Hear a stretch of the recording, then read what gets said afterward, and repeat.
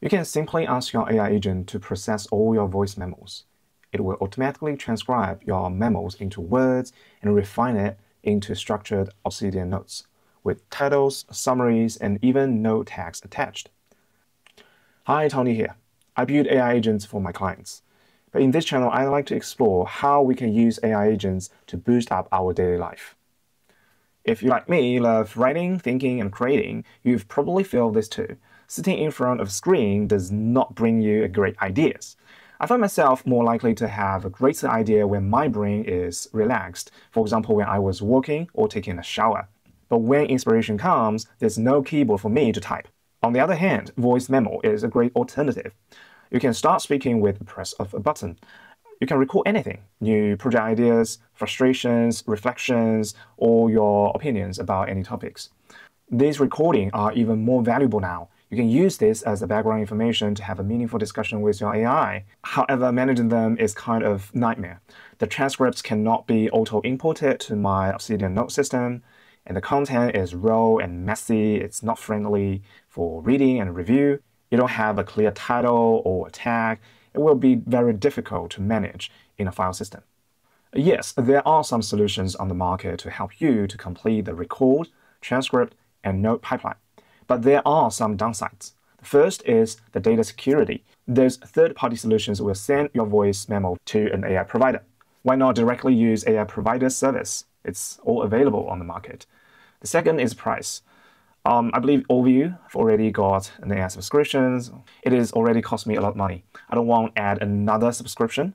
Cost me like $10 each month for such simple thing. The third reason is definitely the customizability. I would like my transcript to fit my file management system, not the other way around. So I wrote my AI application to automate the task six months ago. Although I like to share it out, but it's not user-friendly for non-coders. Then recently, Claude Code had a major upgrade on the AI agent skills. It basically allows your AI agent to learn my AI agent skills by simply downloading it. Sounds like what happened in Matrix, isn't it? So you don't need to learn Python. Your AI agent will do it for you. It sounds like the beginning of a new era. You should definitely try it out yourself. Okay, this is an example of Obsidian Vault. What we need to do is to prepare two new folders. One is for the raw transcripts of the voice memo, and another one is the uh, refined Obsidian notes from our raw transcript. All right, uh, once it is ready, uh, we can use Visual Studio to open it up. Okay, the next step is to download the agent skill package from our community. You can simply find the post and click the zip file. You can unpack the zip file, and we will have a new folder called Voice Memo Agent Skills. It includes .claude. This is an agent skill folder and node property. Uh, this actually tells your agent how to tag your voice memo. All right, the last one is the .env file. This is an example.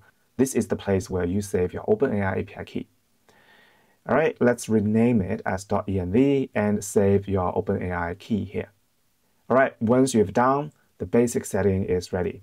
Your Obsidian folder structure on the Visual Studio should look like this. Okay, now we have all the file folders prepared. Let's dig a little bit deeper. In the .claude folder, it includes all the prompt instructions for your AI agent. The first one is the prep agent skill command. It is actually the command to ask your Claude AI agent to examine your computer environment to check if it is ready. If not, it will help you fix it. All right, let's drilling down to skills. Uh, apparently, we got two skills. The first one is the uh, voice memo process, and another one is refine memo for Obsidian. Uh, if you open the voice memo process, you will find it includes a skill markdown file and a script.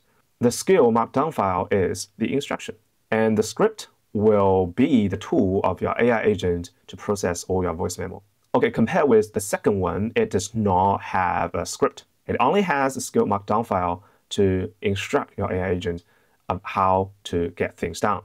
Okay, now we have the basic understanding of the structure. Let's have a look at the configurations you need to set up before your agent start running.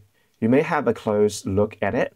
Um, But the one configuration file you need to care about is this config.yaml file. Um, it will actually control how the program works. To find it, it's really simple. Just uh, press Command and click. I did ask my AI agent prepare a detailed instruction, which is the green text here. So um, let's have a look at it. You will find the transcription model. Um, in our case, it is GPT-4o transcribe. And you need to set up your uh, native language so the model will process it in a more accurate manner. And you can leave the temperature as it is. All right, um, let's have a look at the source. Okay, the voice memo directory is where your voice memo is saved.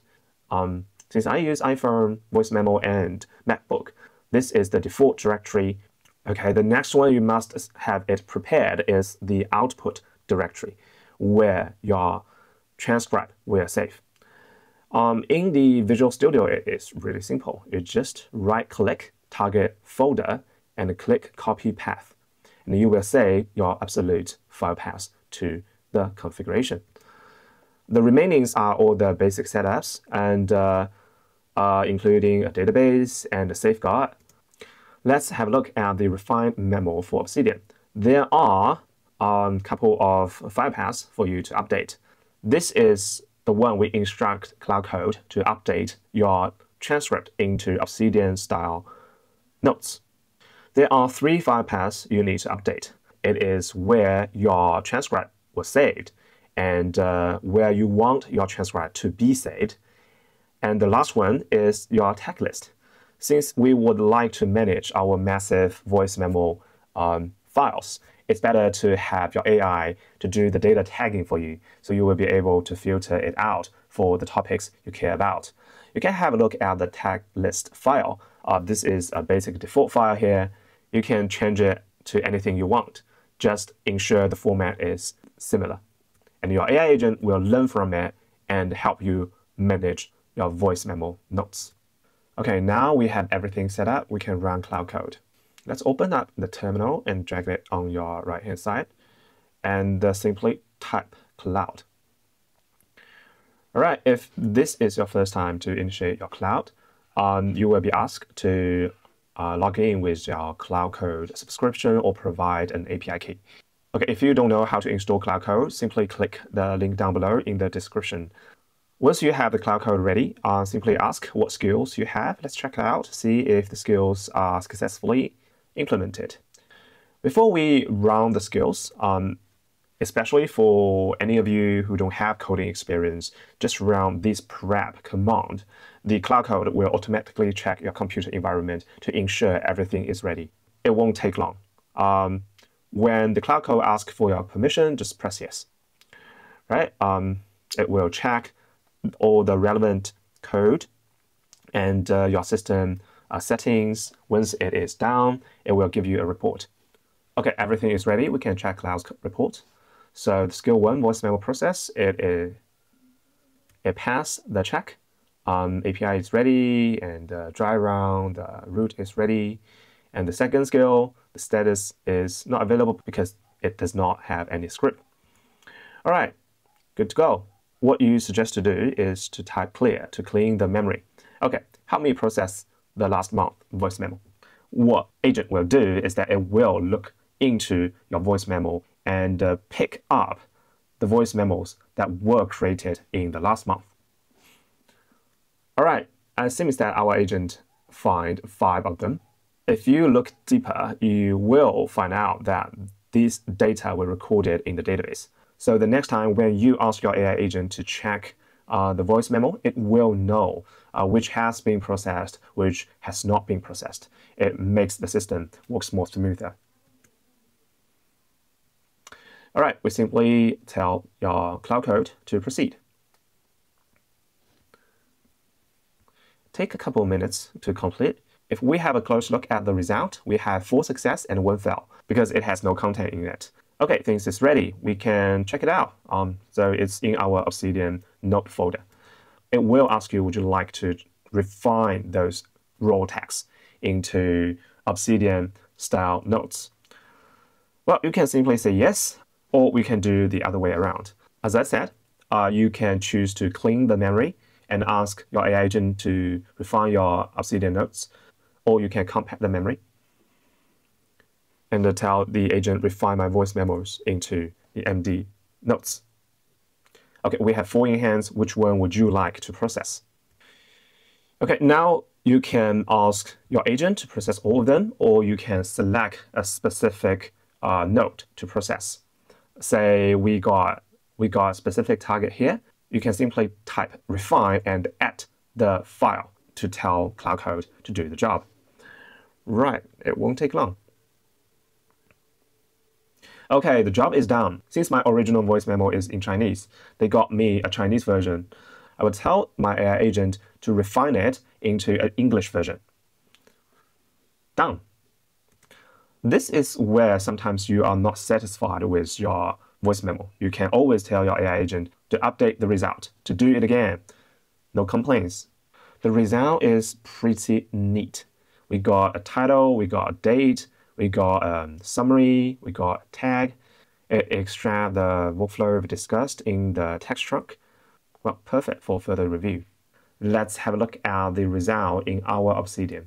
Well, it includes the node itself and node property.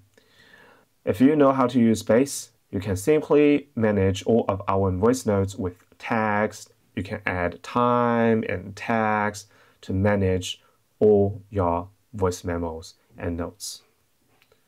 Thanks for watching. I'll see you next time. Bye bye.